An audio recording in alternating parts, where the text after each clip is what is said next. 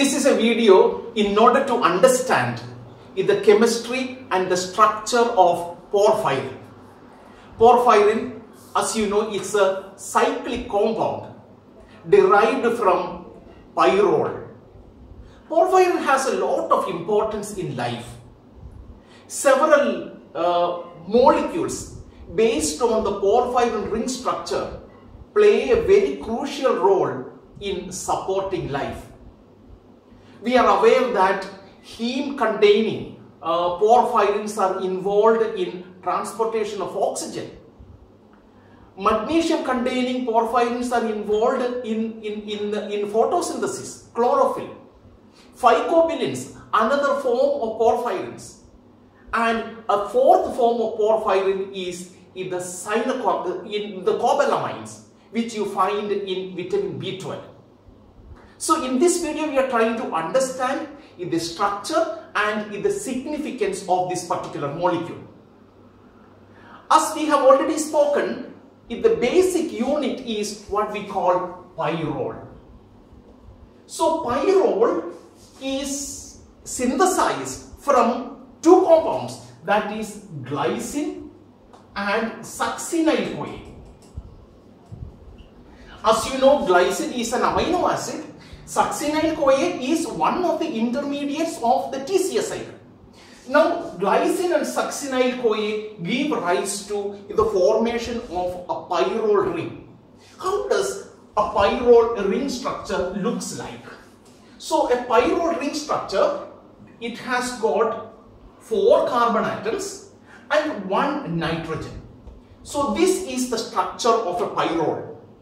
Now, in this pyrrole, this nitrogen is coming from glycine and these four carbons are coming from glycine as well as from succinyl CoA. In the case of plants, this uh, pyrrole ring structure is made from glutamate. Glutamate is an amino acid. It's very interesting to see how from glutamate with the help of a tRNA molecule, how this pyrrole ring structure is formed. Now onwards, this pyrrole ring structure we will represent in this manner. This is how we will represent the pyrrole ring structure.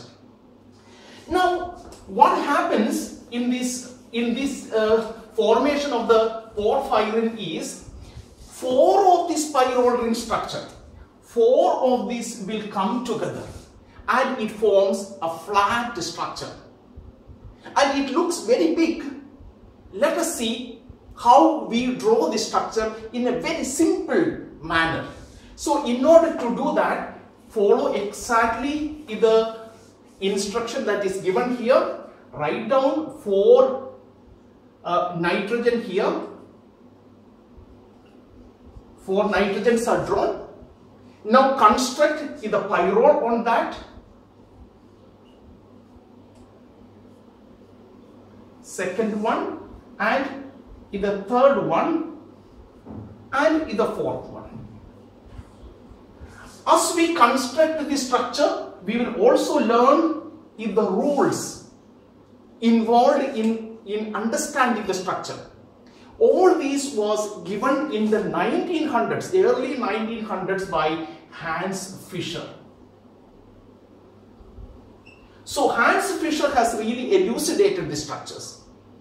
Now, if the first rule says that uh, pyrrole ring, uh, each of these pyrrole must be numbered by using Roman numerals. So we call this one as number 1, this is number 2, this is number 3 and this is number 4. That is the first rule. In the second is now these pyrrole rings, uh, pyrrole is going to be connected by using a methynyl bridge. A methynyl bridge is, this is a methynyl bridge. So here is a connection, a methynyl bridge. Here is a connection, a methynyl bridge. Here is a connection, another methynyl bridge and another methynyl bridge. Each of these methynyl bridges are also numbered by using Greek letters. So this is alpha, beta, gamma and delta. The second rule. The first rule use Roman numerals to label the ring structures. Use Greek letters in order to label the uh, methynyl bridges. So this is the basic structure. Another important aspect of this uh, uh, pyrrole ring is it has several substituent groups. In order to understand the substituent groups, let us number wherever these substituent groups can come. We will use Arabic numbers in order to locate these positions. So this is number 1, number 2, 3, 4, 5, 6, 7 and 8. These 8 places, substituent groups can come. Which are the substituent groups? In the substituent groups, I am writing here, in the first substituent group, we shall denote as M that represent methyl group. M stands for methyl group. In the second substituent group is acetyl group that is CH2COOH. In the third substituent group is the propionyl group represented by P that is CH2CH2COOH and in the fourth substituent group is vinyl group represented as V that is CH double bond CH2. So these are the four substituent groups that are commonly found in, uh, in a porphyrin ring structure. Now, let us represent that. Uh, we will we will remove these numbers now, the green numbers, and represent, replace it with the, with the substituent groups. You can have all kinds of substituent groups. We are just taking example A and P. Let us represent A and P. Acetyl group and propionyl group. Assume this is an acetyl group. This will be propionyl, acetyl, propionyl, acetyl, propionyl, acetyl and propionyl. It forms a symmetric structure. If it is a symmetric structure, we say it is type 1 porphyrin structures. Type 1 because it is a symmetric structure.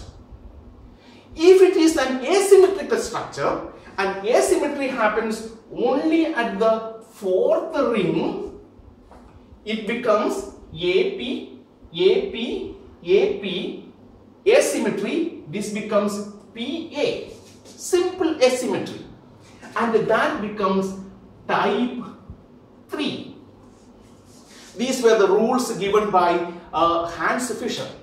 So type 1 up to about 9 different types have been identified theoretically. So type 1 and type 3 are the one which are commonly found in nature. However, type 3 is the most prevalent one.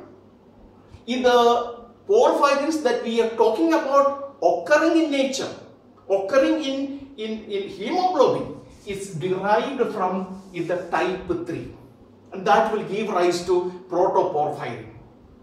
In its synthesis what will happen is there will be changes in the substituent group there will be changes in the in the double bonds and then finally it will become protoporphyrin number 9 that will lead to formation of heme.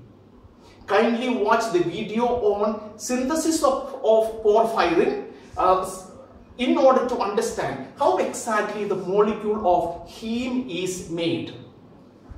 We continue with this basic understanding of this porphyrin structure.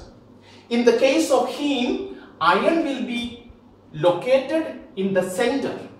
Remember, iron has such a large nucleus, a large atomic radii, it will not fit here. It will just pucker out and it will interact with, coordinate with the four nitrogens and one oxygen, one water molecule and it will be placed there in the case of heme.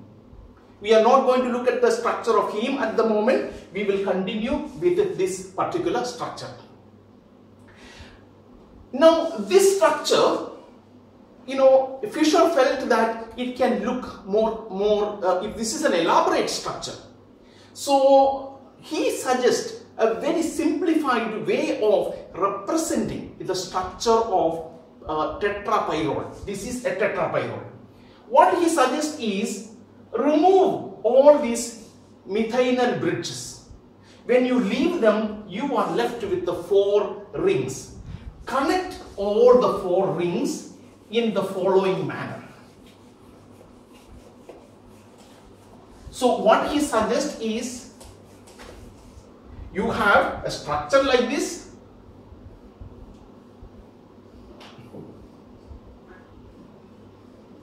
we have eliminated the methynyl bridges. This is number one, second ring, third ring, and this is the fourth ring.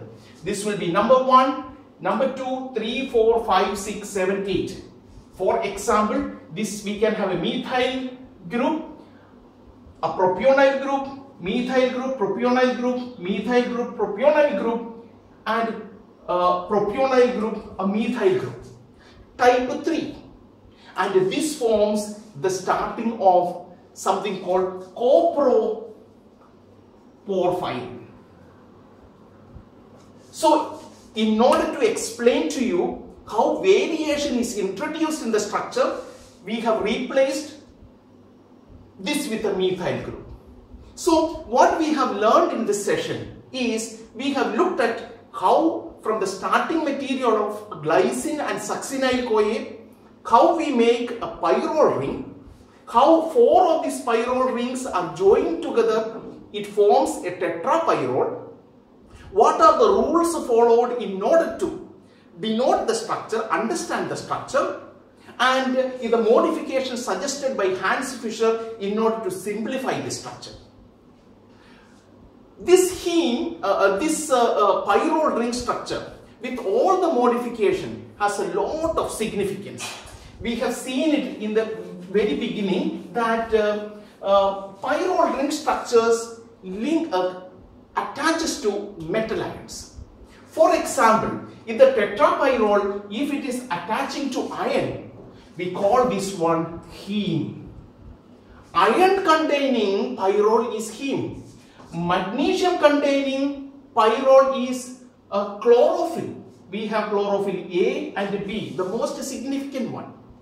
Then you have in plant system, in especially in algae, you have phycobilins. Phycobilins, another pigment. And the last pigment in life is a cobalt containing tetrapyrrole that is cobalamin. You know that this becomes the, the, the precursor for, for the formation of vitamin B12.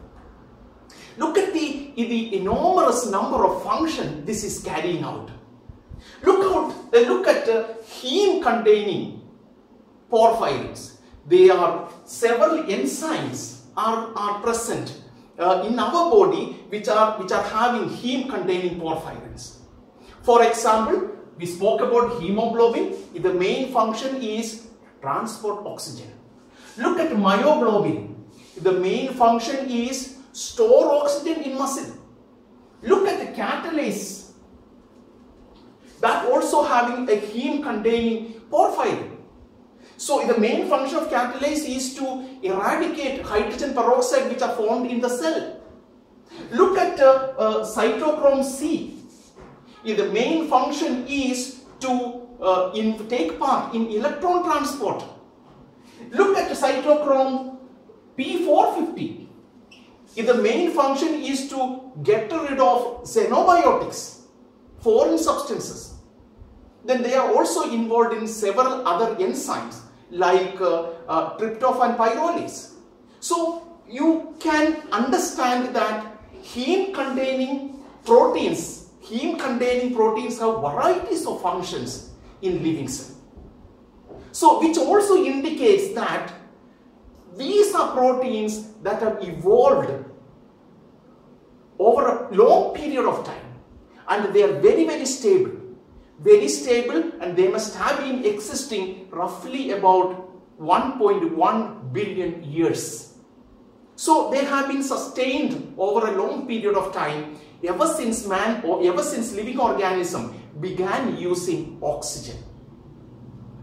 Um, another important aspect when we are talking about porphyrin structure for us to know is its role, um, especially in, in jaundice. It has a significance. Degradation of heme will lead to bilirubin, which is seen as a, a yellow color substance.